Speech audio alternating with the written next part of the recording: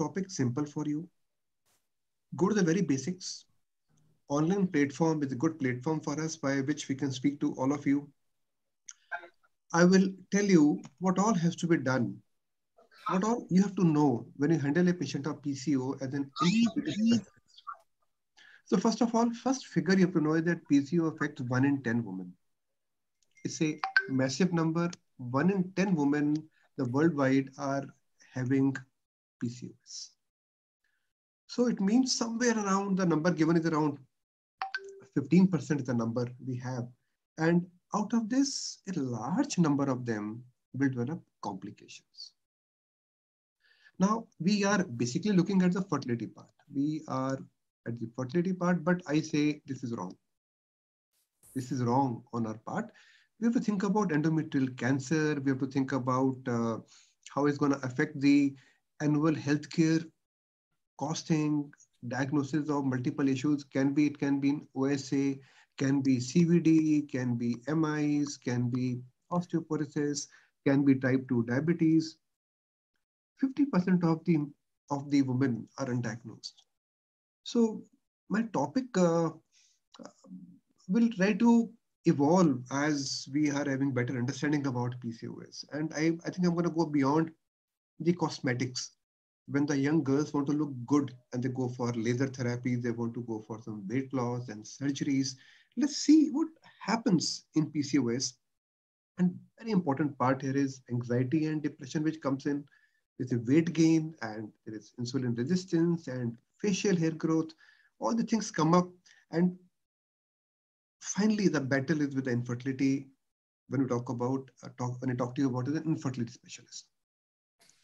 So this is how a PCO woman feels. And a PCO is pretty common, first of all. Around 15% of women have it. And this is all what she feels. And here the killing thing is, and they start coming to us at this point of time when they have acne, when they have got hirsutism, they come, they start coming to us. Then they start gaining weight, then they have hair loss, irregular periods, infertility, high levels of testosterone, we call it an hyperandrogenemia. So she's confused what to do and she comes to one of us and let's see how we can manage her, how we can give her happiness.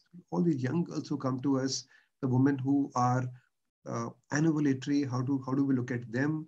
So this is the way things happen and I'm going to cover my topic in the various headings and this is the PCOD ovary about which we're going to talk about to all of you. We have irregular periods, we have excess of androgens, PCODs, and you can see how a normal ovary differs from a polycystic ovary. Here you'll find that we get one, one ovary ovulating, one follicle coming every month, and here we have multiple immature follicles. When we have multiple immature follicles, we have got, we have got increased levels of E2, we have got increased levels of LH, and when E2 and LH go high, the levels of FSH, they come down. When FSH is down, the woman doesn't ovulate. That's the basic uh, thing which occurs in a PCOD patient. So these are the common questions which people ask. And now I start my talk here. Uh, they ask what is the PCO, what are the causes of, this is what, what your patients want to know. As I told you, my friends, gentlemen, ladies, uh, by no means I'm here to teach you what happens in PCOD that you already know. Yeah, let's see what patients they ask you when you're in the opd you get large number of uh, young women coming to you your husband relatives come to you they have these common problems doctor साहब sir आपका आवाज नहीं आ रहा है अच्छे से थोड़ा increase करिए okay fine fine so when they come to you they want to ask you thank you so much for uh, checking me up and they want to ask you what is PCOS, what causes PCOS, who can get PCOS, how is PCOS diagnosed, So multiple people, and now the PCOS, a lot of people are coming into it. We have yeah. got here we have when we talk about PCOS, we have got cosmetologists, we have cosmetologists coming here, we have dermatologists who comes into this field, we have got gynecs, and we have uh, surgeons who do bariatric surgeries, we have counselors, they all come here. But finally, the patients will come to you. So these are common things they want to ask you, and you have to learn what to tell to them. So I think uh, I'll draw my energy from ESHRE PCOS guidelines of 2018. And we are now touching number of around 257 people have joined us. And thank you so much for being here in such large numbers. I can't see all of you on the screen, but uh, I'm always told by my team that don't have a class on Sundays. People won't join or people are, I'm so happy that you all are fighting COVID. You all are braving cold and you're here. Let's do justice to the topic in a very good way. So thank you guys. You're my energy. You are, I always say that you're like my glucon D. I get so much of energy from you. So uh, why is PCO relevant? First of all, that it affects women between 14 and 45 years. I'm going to give you some answers. Just keep in your mind, PCO affects between 14 and 45 years Around 18% of the women have got PCOS. 18% को PCOS होता है. It can have abnormal rigidity, infertility, obesity, diabetes, hypertension, lipid derangements. People can have CVD. They can have MI, and multiple things can happen. There can be depression, obstructive sleep apnea. All these things are part of PCOS. So when you look at the woman, don't only look at their ovaries. That's my request to you. They have come to you, they need help. So treat them in, treat them in totality. And here, look here, there are guidelines available from uh, the ESHRE and they came up in year 2018. And by the time the talk ends, you'll be getting these guidelines in your mailbox also. So look at, look at it. Got nearly every society in the world, FOGSI, ESHRE, ASRM, Monash, Kripos, every society has joined hands. And then they have, they have aligned with these guidelines. That's very important for us to know.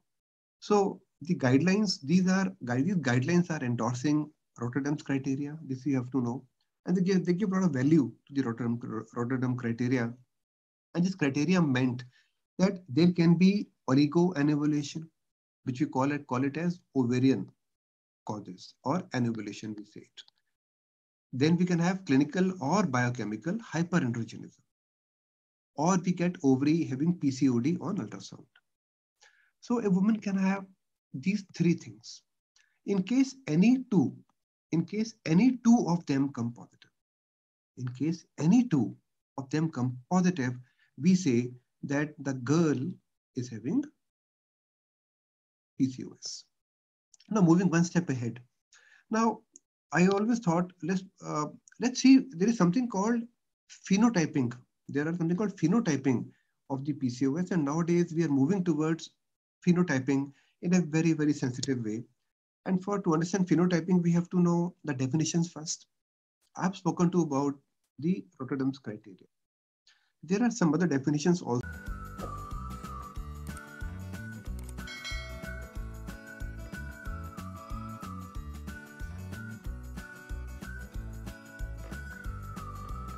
Also available with us and one is the NIH 1990.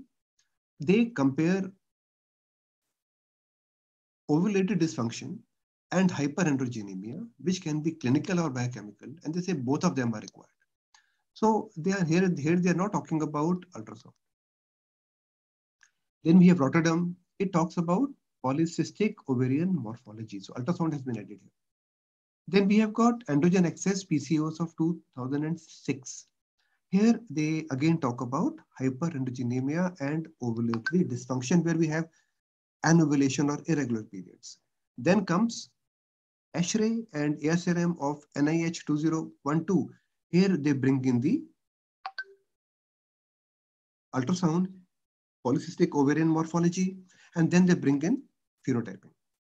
So what we have to understand is that whenever the policies are being made by gynecologists, in any format, they always add an ultrasound. But when they are made by other societies, they don't add ultrasound to it. They basically go by irregular periods, clinical or biochemical hyperandrogenemia. This is what this is one thing I wanted to share with you. Now, what are these phenotypes? Phenotypes kya hote hain and why are the phenotypes important? There are four phenotypes of PCOS. One is A, B, C, and D. And these phenotypes are in these combinations. They can be all three coming together. Ultrasound, anovulation, hyperandrogenemia. Then there are combinations of hyper. Look at this hyperandrogenemia is there in all ABC. In one, they we add all. In B, they have only ovulation problem. In C, they have ovarian polycystic morphology. And in D, they have they have not taken hyperandrogenemia. These four combinations are there. And out of this, the most commonest combination is of type 1 or classic. Type 1 or classic, that is 54% gentlemen ladies. 54% is this combination. And this is the one which we are seeing on daily basis. Many times you guys call me and ask, ovary में तो नहीं है, पर hyperandrogenemia है, or anovulation, and then what do you do? Immediately you know that this is a case of type 2 classic or you know it's a type 3 type of phenotype where we have these two things or we have only androgenemia and PCOS, which is 8%. And because you find that type 1 and type 3 are the commonest. Now here, I won't go into the details more than this, but you have to know that try, please try to phenotype your patient. This is important. Always try to rule out other conditions, though normally we don't do it. But definitely, yes, in case the patient is young, healthy, we don't carry out, rule out adrenal disorders, CAH, Cushing, and we don't do this. But basically, we do rule out hypothyroidism. So I suggest that always do these three tests. I'm giving you some golden words. Do vitamin D for all the patients. Do prolactin and do thyroid. So all the three things will normally come deranged in the PCOD patient. prolactin we normally don't treat. You treat hypothyroidism and prolactin will become normal. This is one take home message I want to give to you. Don't start giving the patient thyroid and cabergoline together. Normally, if you give eltroxin, this will heal prolactin. Then vitamin D, I think is pretty important. The test costs around rupees 1500. So you may not do that test for all. You give them a sachet of, or you give them 60,000 units of, of vitamin D3 for eight weeks then maintenance. I bring your attention towards our last uh, curtain raiser uh, resonance on vitamin D. Please read from there. Now, what are the common doubts of treating gynecologists? So the gynecologists also want to. Until now, I spoke to you about what patients want to ask you. Coming to what gynecologists want to ask. They say, general gynecologists, they want to know how common is infertility in these patients? This common question. कितने लोगों को infertility होता है PCOS? How do we modify their lifestyles? What are insulin sensitizers? Choice of ovulation induction. How do we treat gonadotropins? Do we treat them or we don't treat them? Which type of gonadotropins should we take? HMG, FSH, LH, HCG, what do we take? Do Can we get ovarian hyperstimulation? How do we handle? Should we carry out fresh ET or a frozen ET? And what is the success rate of IVF in PCOS? So these are common things that people want to ask. And I will take you to the guidelines of 2018. So the management of infertility is a very small part. I think we have to look at the patient in totality. And here it is these two things which are very important. In case you treat only infertility part, the woman will become pregnant and then she'll have multiple complications later. And but we have to give them something called holistic care.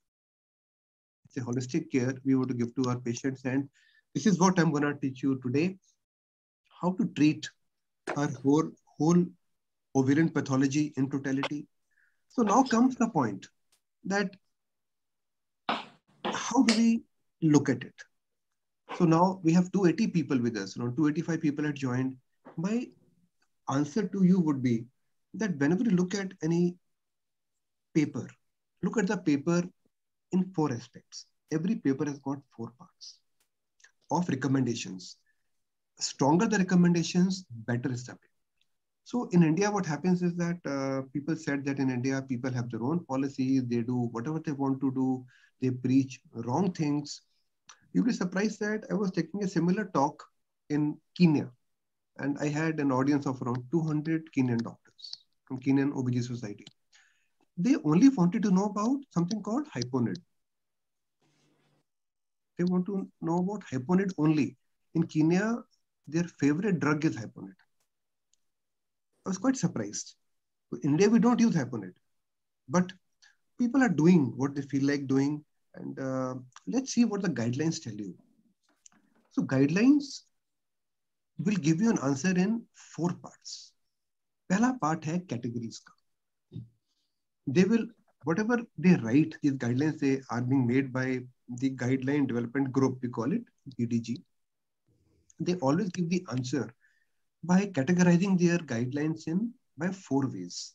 You have to pick up that guideline by importance of these four things or five things. So first of all is the category of guideline. Here we talk about EBR, CCR, and CP. this paper I'll be sending to you immediately after the class is over because my fund is that you all of should read yourself to learn better. So just know that there is something called evidence-based recommendations, clinical consensus recommendations, and clinical practice points. So we call them EBR, CCR, and CPP. Just remember this, that this is important category. You read any paper which is coming internationally, they'll have four-prong way of categorizing. The second method is called grade of recommendation. Grade of recommendation that is called, and that's based upon a system called grade. Now, grading, the, the, uh, the grad stands for grading of recommendations, assessment, development, and evaluation. So you find that when, when you come to this, it goes in the reverse order. When we come to four pointers, strong recommendation. As we move up, it is a conditional recommendation. So strongest recommendation will be like one, two, three, and four. So I've told you two things till now. One is the category. Is EBR, CCR, CPP. Strongest is. Strongest here is EBR. Remember that. And the weakest is CPP. I won't say the weakest, but on the ground, EBR is more powerful. When you come to the grad, always grade, we look at more number of stars here.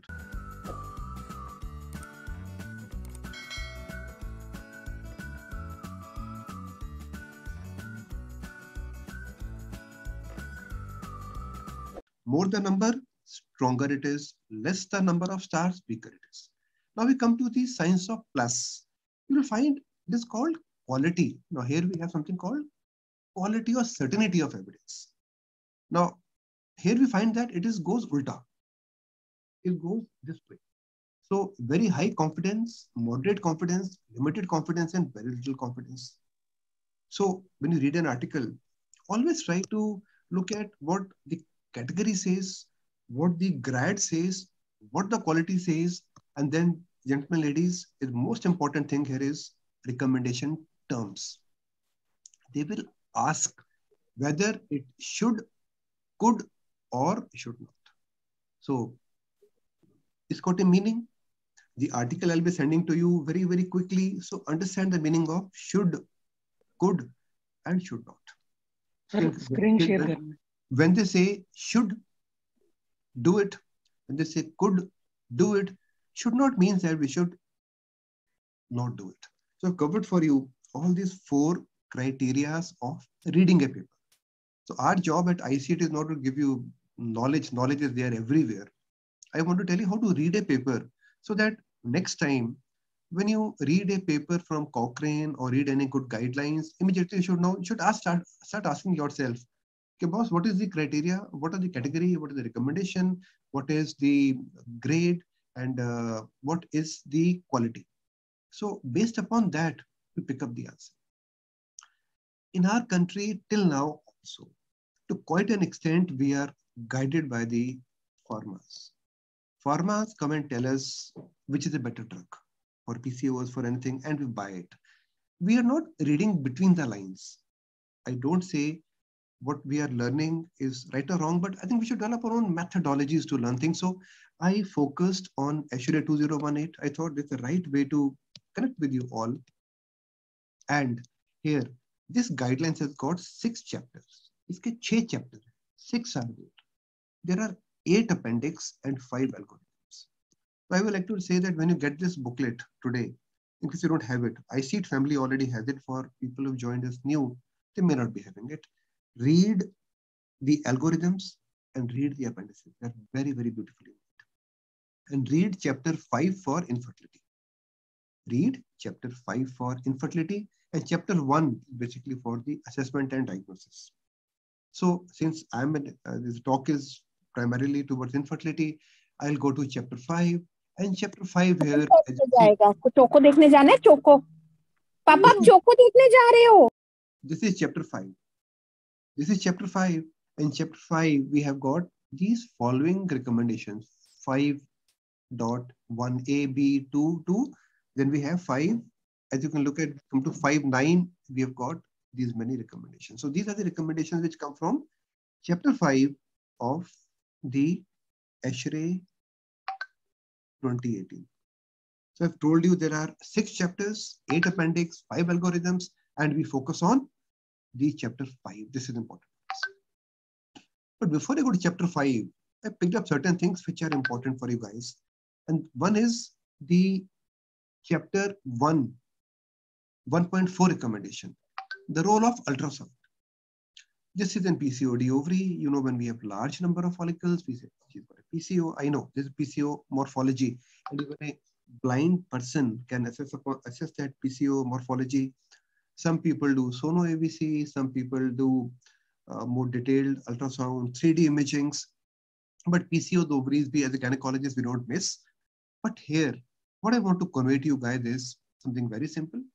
That is that woman less, girl less than eight years, girl less than eight years, or eight years after men, ultrasound is not recommended. Girl less than eight years and less than eight years after menarche, ultrasound is not recommended. This is CCR. It's a consensus recommendation. I don't say it is 100% correct, but this is a recommendation. Second is when we look at the ovary, we should use a vaginal ultrasound. Never do diagnose ultrasound by TAS. Always use TVS. And I think we should use 7 and higher megahertz probe. This is important for us. Then volume more than 10 ml of the ovary. Volume of an ovary more than 10 ml and the follicles per ovary of more than 20. Follicle number per ovary more than 20 is a marker of somebody having PCOS. Just remember that. Also remember that in patients with irregular periods, when the woman has got ovulatory dysfunction, I call it OD from now on, and hyperandrogenism. अगर दो feature हैं ultrasound is not necessary. Ultrasound will, however, identify the complete PCO phenotype. That's all. It will make it from any other category to classic one. That's all it can do, which is the commonest also. But for us, all the girls and boys who are present here, for us, most important here is ovulation induction. So ultrasound is the one which we normally use and try to, for this means that we have to always look for phenotype one as far as possible. That's a classic phenotype. 1.5, chapter one, recommendation 1.5 I picked up. And that said, is there any role of doing an AMH? So we find that a lot of people nowadays, they have got fertility panels. They can be male, they can be female, they can be PCO panels. You find that any girl who comes to us with some hyperandrogenemia, we just put a PCO panel for her. And PCO panel will have testosterone, free testosterone, androgen, sex hormone binding globulins, it will have LH, FSH. So whatever you can think of, it will be there. So for now, we have 300 people logged in at this point of time. 300 is a huge number on a cold Sunday morning. so I like, like to tell you one thing very simply, that there is no role of doing AMH to diagnose PCOS. AMH we do as a fertility specialist because we have to decide our protocol and dosages. That is okay. But to diagnose PCO, it should not yet be used. And this is a strong evidence-based uh, recommendation. but there is an emerging evidence that it will help us. So I will say we do AMH, but it's a different purpose because we have to make them ovulate and we have to see how much dose we want to give to the patient. It's important for us, but not for routine gynecologists and not for routine diagnosis. Now, clinical hyperandrogenemia. We normally never look at it. Even I tend to ignore it many times.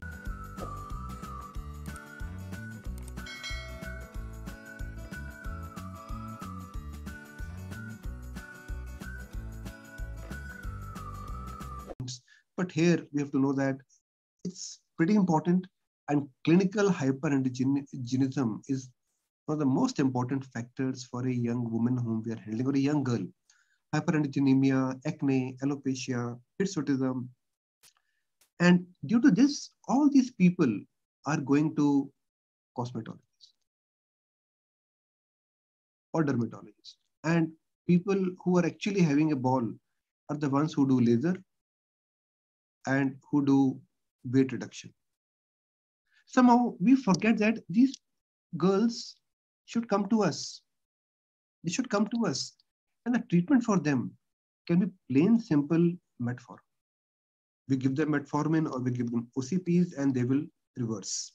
But somehow they don't come to us now and they go to more advertised fields and they get, and that that will again reoccur in them. So what I want to tell you is that healthcare professionals like you, now detach yourself from being a plain, simple infertility specialist. You are a doctor. You're a healthcare professional. A young girl comes to you to talk to her. Just don't give her a dying tablet or something and send her home. Do look at her hyperandrogenemia, look at her her depressive state, how she's feeling, and try to treat her. So there are two recommendations I picked up from chapter 1.1.3 and 1.1.1, 1.3.4. And these are that we have to grade, we, we should carry out Ferriman, Gallwey scoring, and we should know about how they are doing and always do Ludwig's visual score. I also don't do it routinely. I also want to implement, implement it in my practice, but I'm also not doing it. I am guilty myself about this. So Ferriman Gallwey is important and Ludwig score is important. I'll be giving you the booklet in next 45 minutes. Go through it. You'll get two booklets from us today. One is the antioxidant guidelines which we have made, small booklet which we have made for you. Read that. That's the resonance and the booklet on PCOD. And again, I some I saw something more interesting. Chapter four is a talk about inositols. I picked it up because inositols are pretty exciting for me. And inositols, uh, we given up when somebody's got hyperandrogenemia. So these women have got high testosterone, they've got high weight, more weight, they got fertility issues, but somehow we are always stuck at this point. We only look at this. This is our failure. Complete failure of all of us, all 300 of us who are present here. Let's take a pledge that don't only look at her fertility, look at other things. In case you correct her testosterone and weight gain, probably she won't require us. She won't require us. So we'll become defunct. So, but that's more important. It's good to do the right practice. So I say that always try to treat testosterone, hyperandrogenemia, and weight gain, and fertility will occur by itself. But one thing is for sure that we have insulin resistance, and a large number of them have it. 80% of women who are obese and 30 to 40% of lean girls also have got insulin resistance. There can be CVD, there can be metabolic disorders. So hyperinsulinemia management is the key to the pathology. What came earlier, gentlemen, ladies, IR or PCOS, we don't know, but they are, it's a very complex, knotty problem and we don't have any answer. So these are few figures when IR, insulin resistance occurs. Why does it occurs? It occurs at the level of tyrosine uh, phosphorylation, serine phosphorylation. It occurs at the level of ovaries, uh, hepatic, renal. A lot of things are here. But in the end, we have got hyperinsulinemia and hyperandrogenemia. This is what I just want to leave, park this thing with you. And it's a very complex thing. I think the best place to read is a book called Speroff. In case you need copy of Speroff, Speroff, do write to me. But Speroff is the right book to read uh, about this particular condition. But one thing is for sure, we have got hyperinsulinemia here. So we want to give them anti-androgens. And we have got hyperinsulinemia. So we want to treat insulin resistance. This is one thing which we are trying to do here. Let's see how do we do it. So there are multiple receptors present. There are it's a whole, whole pathway in, in case you look at it from uh, 1 to 9, 1 to 8 is a whole pathway which is occurring. And primarily the problem comes with the tyrosine kinase activation. It comes with GLUT transporters, which will transport the, um, the, the glucose molecules inside. And then finally, we have the whole mechanism of glucose uptake and conversion. So all things are occurring. And in case something goes wrong with the receptors here, then we end up with insulin resistance. And then there will be hyperinsulinemia. And this will bring hyperandrogenemia. So all three are very, very close friends.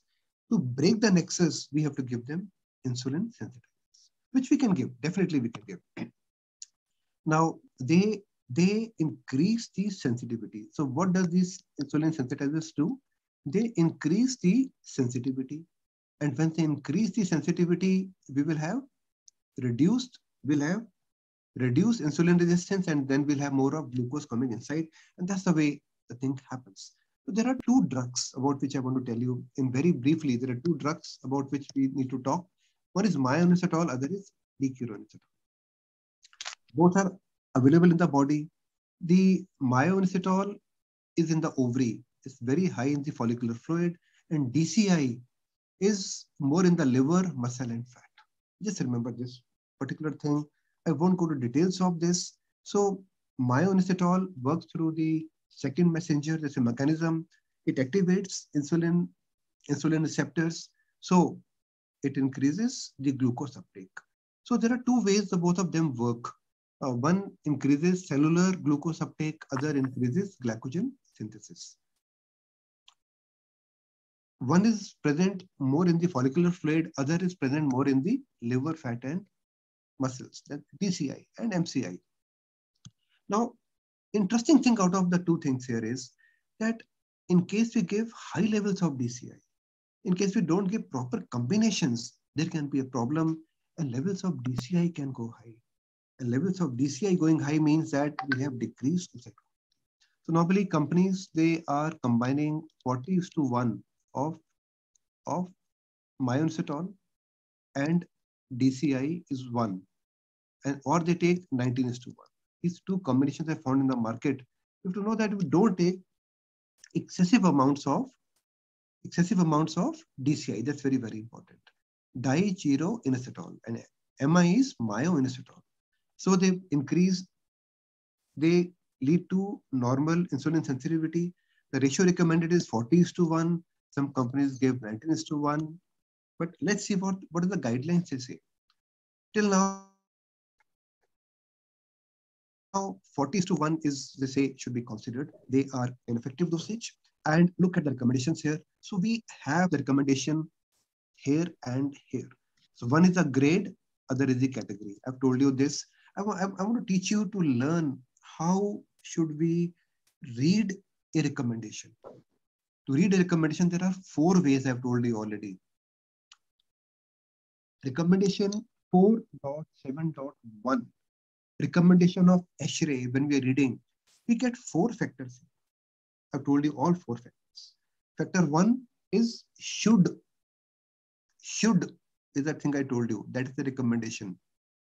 इसे करना है क्या नहीं करना है should, could, should not. I've told you this. Then look at EBR. How is the EBR?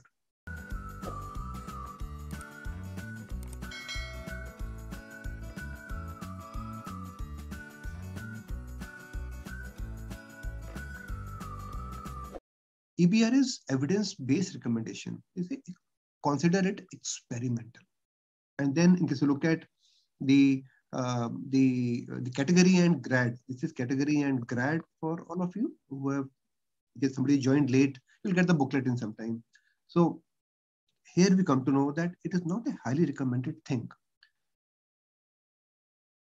always take advice of your healthcare professional before taking DCI or MCI. This is what is written in the guidelines, and I'm going to give you that. In the morning, when I started my day, I said, let's look at what's available in the market. In the market, they are selling these combinations, something like this. Here, I'm not talking about any company, but look at it, myoinositol, 550 milligram, chiro inositol, 13.8 milligram, green tea, vitamin D3, folic acid, chromium picolinate. These are the few combinations people are giving and they normally give 200 units of vitamin D to it. These are all the top brands of the country which have taken. And But just see the difference between myoinositol and D-chiro Look at the ratio, 550 is to 14. Another brand I picked up was this. Lovely brand, as you can see, it contains uh. In case you look at the myoinositol, it contains one gram myoinositol. And then it has got so many multivitamins. It's full of multivitamins. And they, every multivitamin is an antioxidant and maybe helping her in ovulation. Again, a brand which I picked up, this contains myoinositol. It doesn't contain, now in case look here, it doesn't contain DCI. It only contains myoinositol. And again, one more combination which I found was metformin and myoinositol, 500 and 600. So one more oral combination, because you look at it, this basically contains myoinositol, vitamin D3 and folic acid. So myoinositol here is 2 gram. So the dose of myoinositol is varying between 500 mg to 2 gram as I want to tell you. We still don't have any recommendation what dose is right. We are not clear about it. But overall, look at it, there are again one brand, myoinositol 550 and inositol 13.8 milligram. This is average dose of myoinositol which you give to people is around 500 milligrams per day. This is the dose. And some have gone to one gram and some have gone to two grams. Some give DCI, some don't give DCI. So with this, I come to the come to the main topic for the day. The topic for the day is assessment and treatment of infertility. That's a topic for me today. And as I move ahead, before I move ahead, uh, there are around 12 things I'm going to cover, 12 slides I'm going to show to you. I'll give you a take home message, quick take home message, and I'll keep moving. But before I'm moving ahead,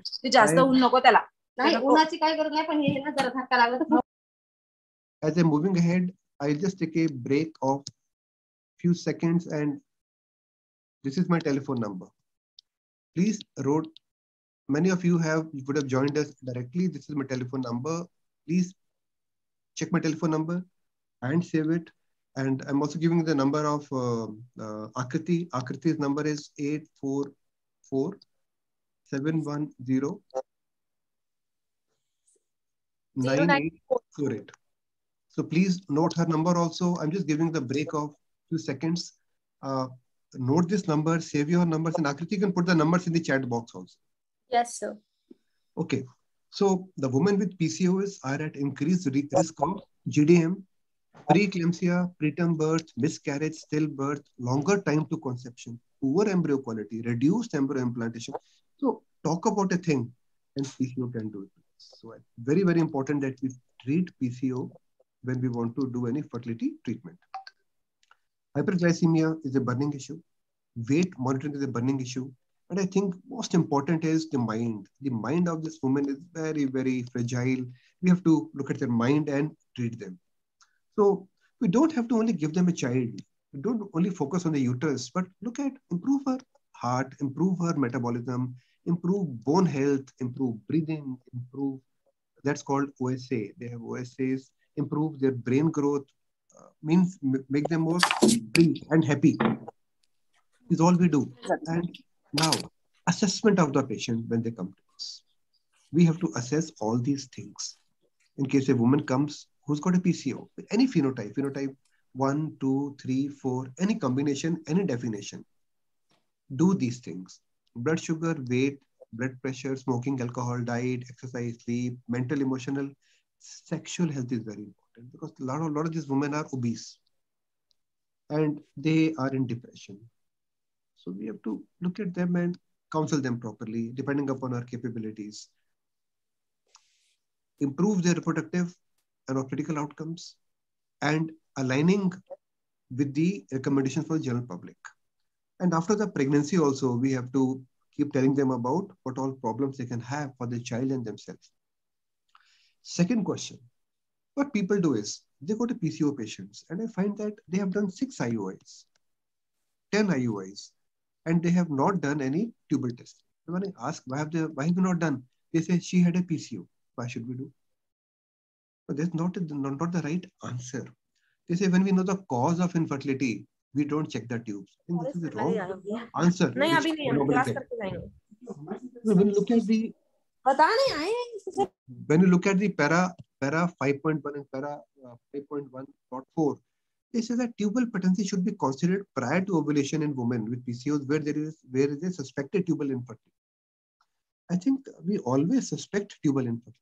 I think in case you want to try, one odd chance is okay, but later on you must go and do their HSG as early as possible. HSG is going to help you. It's no use that you carry out eight IUIs or large number of IUIs and then you find that she's got tubal blockage. In country like ours, where TB is pretty common, tubal blockage is due to TB in our country to quite an extent. Chlamydial infections. We are going to come out with a very beautiful resonance on, on chlamydia very soon. Then you all want to ask us that how do we do ovulation in such women? What are the principles? So I, I checked up the ESHRE guidelines, chapter 5.2 why am I writing these things is that when you today, today is Sunday, or when you have time now, COVID is making sitters at home, you relax and try to read these chapters. And after you've read them, then you can go to the appendix and algorithms. And within, I think you'll take not more than one hour in mastering PCOS. So it's, it's my promise, it's our promise that anyone who goes through ICEAT, they after that, they don't have to go anywhere. You have all the answers with yourself. So what are the ovulation induction principles? We have to know that we can use any of these drugs, letrozole, metformin, clomiphene, depending upon what is, what is allowed in that part of the world. Many countries have banned many drugs. They don't allow, they don't have FDA approval. So we have to see that where is it is it off label and where it is on. That is the country's choice. But overall, rule out pregnancy before. I have seen large number of people a woman comes and they give them five packets of perfume that keep taking it every month. Those poor, they got, they got, they got their PCO patients and they have some spotting and they start taking it every month for four to five months without any ultrasound. And you find that they were pregnant and they were still taking clomiphene. So I think we should do, we have to exclude the pregnancy before we give her the second cycle of any of these drugs. And uh, prolonged use of these drugs should be avoided. We know that they can lead to cancer. In case you give it for a long time, cancer can occur. In case you give it for more than there's a possibility that we may be having some problem. But I won't, I'm not going to touch that part today. So before I move ahead, what is normal ovulatory cycle? Here you have to know that there are two parts of an OCC complex. The outer part this is very important for you to understand whole of ovulation process. And inner part is called granulosa. So granulosa will make aromatase and theca under LH will make androstenedione, which will convert into estrogens. So aromatase will primarily help in converting androstenedione into estrogen. That's the way. And here we have to use letrozole in case required. So the aim of aromatase is to convert androstenedione into estrogen. Aromatase comes from the granulosa cell compartment. And androstenedione comes from the theca cell compartment. This is what you have to know. When we have a normal woman, she has adequate amount of in body. She has got low levels of E2. She's got low levels of LH. So she makes one egg every one follicle every month she's creating. One mature follicle, mono follicular uh, ovulation and the woman becomes pregnant. Because her E2 and LH are normal. So FSH is adequate. This is very, very important. And FSH comes for a small window. It's got a limited secretion. That's the way body behaves. So FSH window is short, E2 is low, LH is low in the initially, so FSH keeps rising. But when we come to PCOS, here we find it's a very different phenomena occurring. Here we have high levels of E2 from the very beginning, high levels of LH from the very beginning. So on day two itself, we have got high E2, high LH, and when they both are high, we'll have low FSH. When FSH is low, women won't ovulate. So low FSH, high LH, high E2. High E2 will lead to anovulation, and this is pathognomic of PCOS. Now, how do we treat? Drug of choice, letrozole. I won't go to letrozole much, but just to give you some idea, letrozole acts upon the conversion of androstenedione to estrogen. So it acts at inhibitor. That's an inhibitor. So it will suppress conversion of androstenedione into estrogens. So levels of E2 will go high. Uh, levels of E2 will go low here. This is the main concept. And we gave aromatase inhibitors, letrozole or anastrozole for this particular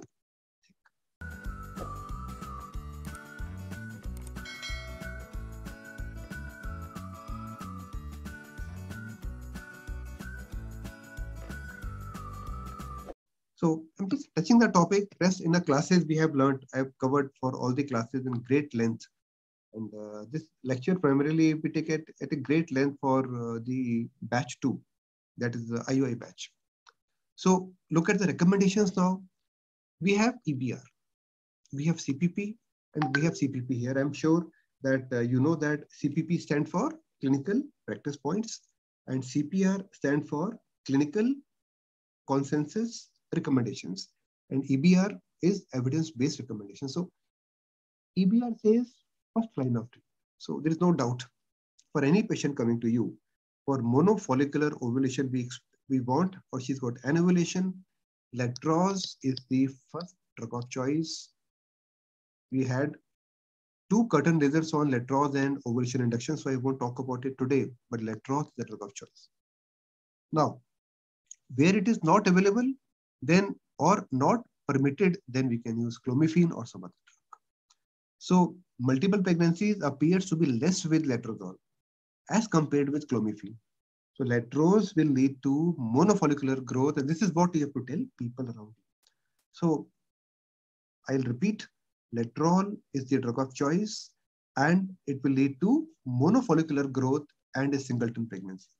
Second drug, clomiphene and metformin. So when it comes to clomiphene, it has been combined with the metformin very commonly.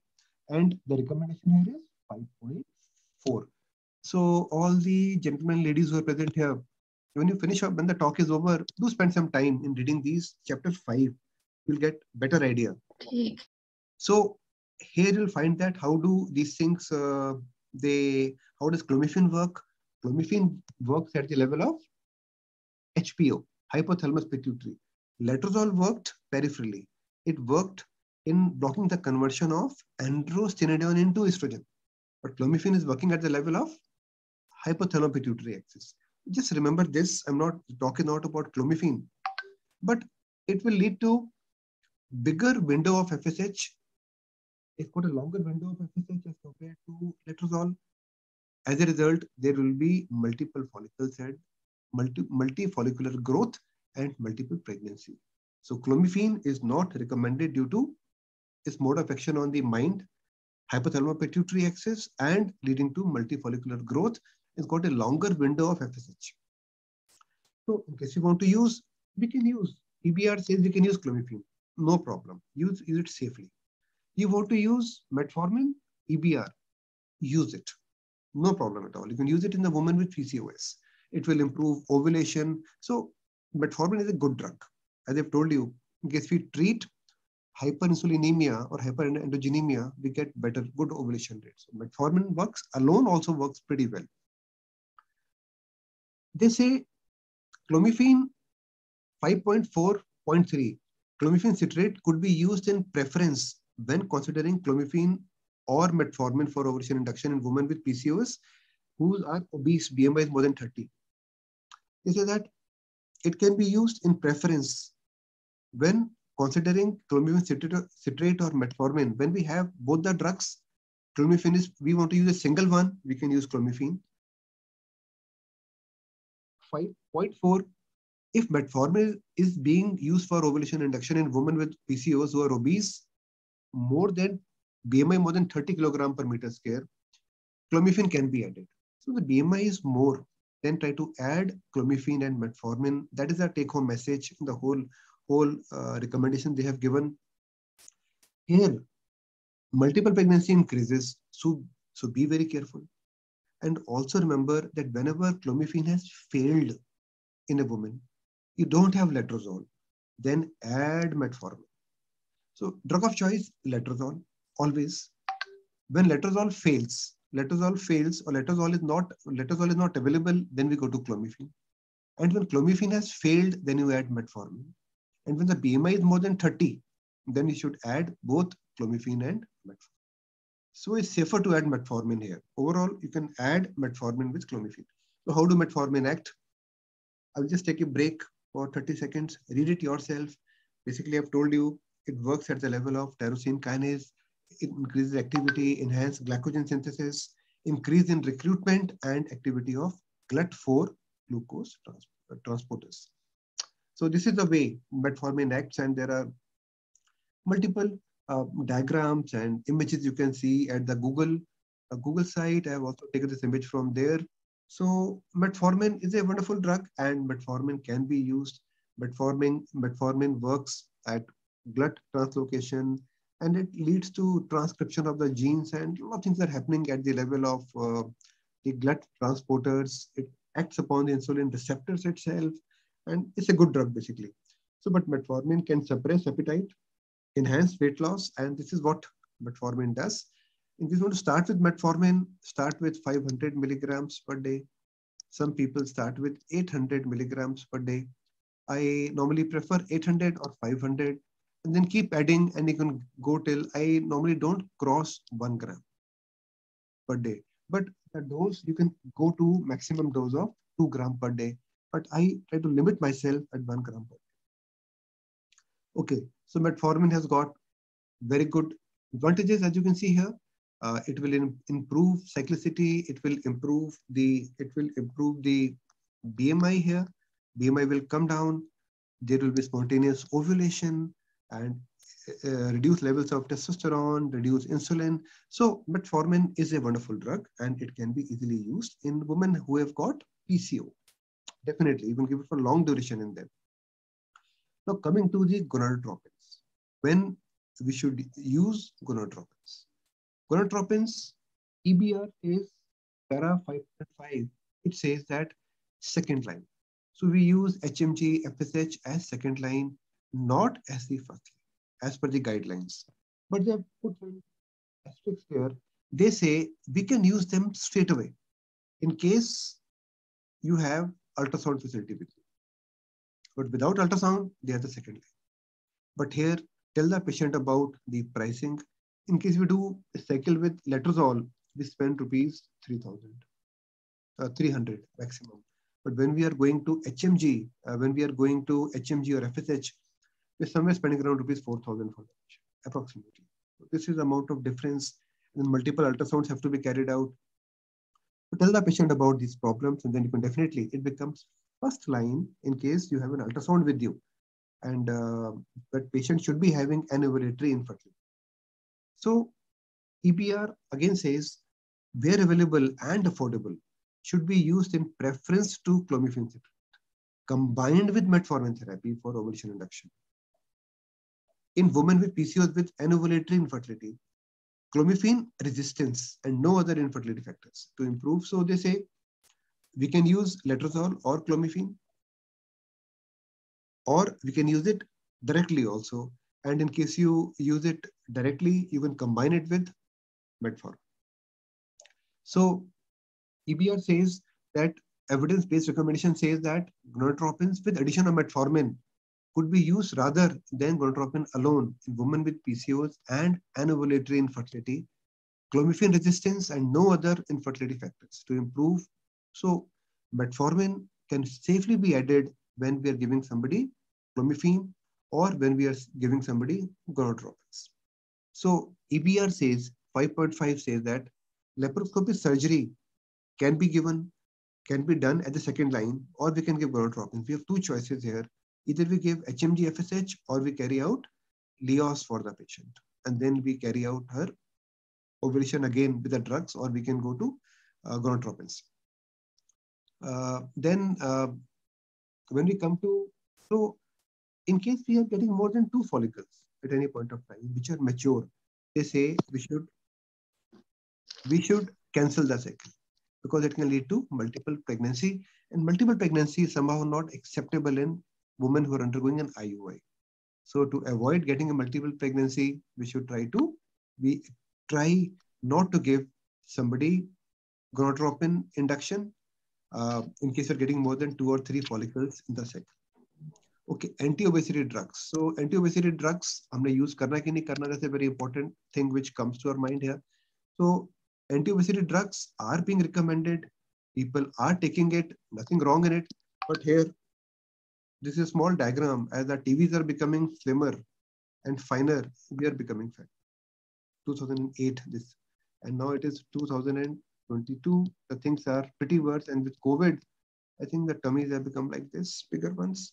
So the drug which is recommended is Orlistat. That's all I want to tell you. There are multiple drugs. They work at various levels here, but we prefer Orlistat. Okay, so there are multiple anti-obesity drugs. I don't have any experience of Orlistat. I've never used it, but um, it can be used. So they have got FDA approval and uh, it works by inhibiting intestinal lipase activity. That's what I want to tell you about Orlistat is. But important for me will be algorithm three. So my dear friends who all are here present, I'm so happy that I see around 290 people still logged in at this point of time. Achievable goal would be weight loss. Weight loss 5 to 10% within six months. So it is not that you start losing weight the same month. Ongoing monitoring is important in weight loss and maintenance. And go to a professional in case you want to go to a 10% weight loss will always give you good outcome. Don't be in a hurry to lose a lot of weight immediately. Have it very, very gradual. And within six months, you'll find dramatic improvement in your fertility potential. And the term is called SMART here. I told you a term called grade when I started. Grade, I hope you remember what grade is. The second term is SMART. Specific, measurable, achievable, realistic, timely. That's only not only about PCOS. Whatever we do in our lives should be smart. So this is what we teach you in uh, total quality management classes also.